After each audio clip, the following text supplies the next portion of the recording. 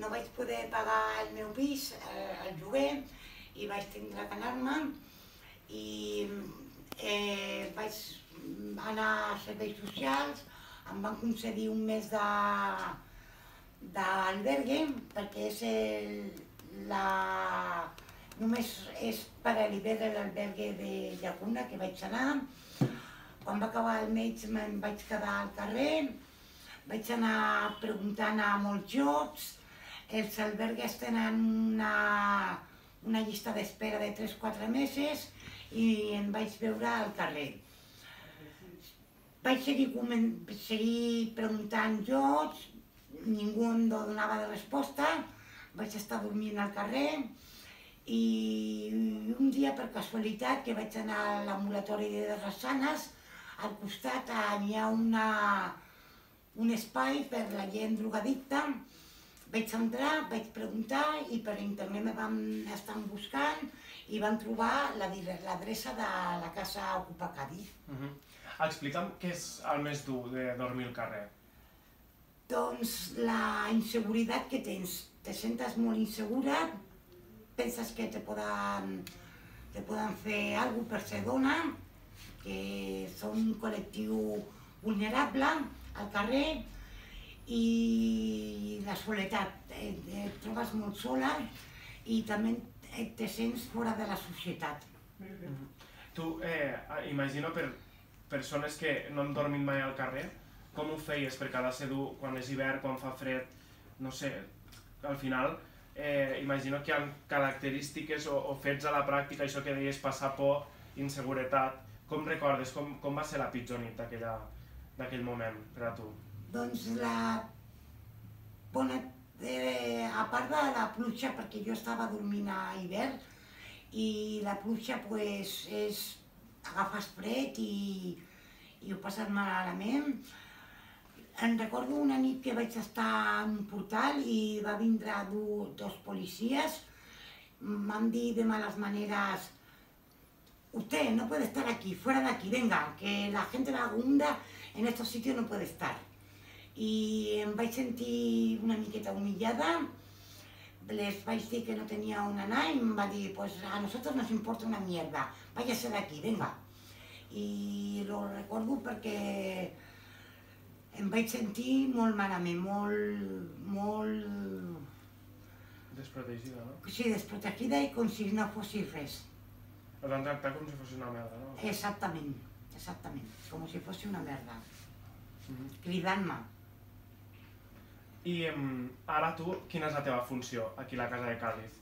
Bueno, pues jo col·laboro en lo que me, di me diuen i estic a recessió rebent a la gent que di, entra a preguntar què és això, entren a preguntar si n'hi ha lloc per dormir, eh, entren per l'exposició que tenim de quadres, pedretes, llibres, i pues, le informo de, de tot i, i, i també les ensenyo a l'espai a la gent.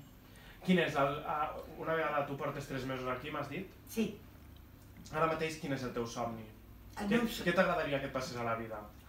doncs, trobar una, una habitació un pis i començar una vida normal com tenia abans. Mm -hmm. Digue-me eh, tu la frase de ara mateix el meu somni, perquè no s'escolta la meva veu, que comencis tu dient el meu somni... Ah, d'acord. Vale? Vale. Doncs el meu somni és poder trobar una habitació de lloguer o un pis de lloguer, aunque en Barcelona està molt, molt difícil perquè els lloguers són molt elevats, i habitacions també te demanen molt a Barcelona, així que tinc, estic mirant de mirar a veure si fora de Barcelona tinc més sort i res, començar una vida normal com la que tenia abans. Creus que és possible?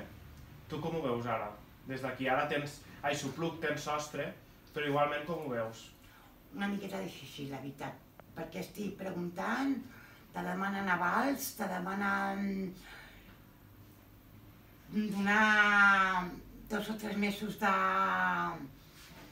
de fiança. De, de fiança i jo en aquests mateixos moments no tinc els suficients diners que, que me demanen. Uh -huh. I com em deies al principi, per acabar, al principi de la història era que tu estaves treballant, no? No, no, no, no estic de... No, no, però abans de tot, de Sí, que abans quedessis sí. al carrer, com era la teva vida abans de quedar al carrer? pues era una vida normal, la, la meva filla era les meves netes i de casa al treball i de treball a casa. Sí, I de repente un dia què passa? doncs jo sóc alcohòlica, vaig veure el treball i me van expulsar. Uh -huh. Llavors sense treball no entenc que et vas quedar sense feina, sense cobrar res. Això mateix. Explica-m'ho tu. Doncs, bueno, pues, me, van fer fora, eh, vaig anar a l'INEM, me van donar una... Bueno, mentira, vaig anar a la Seguretat Social, vaig agafar la, la, la baja, era molt baixa, era menys del, del que jo pagava de lloguer i vaig tenir que deixar la meva casa. Per tant, no tenies diners per poder pagar el pis, no? No, no tenia diners, no. No, no, no m'arribava. I llavors, eh, arrel, explica'm això, tu vas a demanar la baixa, et donen una baixa, que m'ho diguis tu, eh, molt pobra, amb el qual no tens prou diners per a pagar el teu pis i et quedes al carrer. Això- Explica, explica-m'ho tot seguit, si pot ser, sisplau. Val, pues, de, després de que me van expulsar del treball, vaig agafar la, la baixa. La baixa era una, una quantitat molt petita de lloguer, menys de lo que jo pagava de lloguer, i en dos mesos vaig tindre, tindre que deixar la meva casa. Uh -huh. I va ser quan vas, no? Sí, sí, vaig, i va ser quan vaig tindre que anar al carrer. Vale, perfecte, ho tenim. Sí? Genial.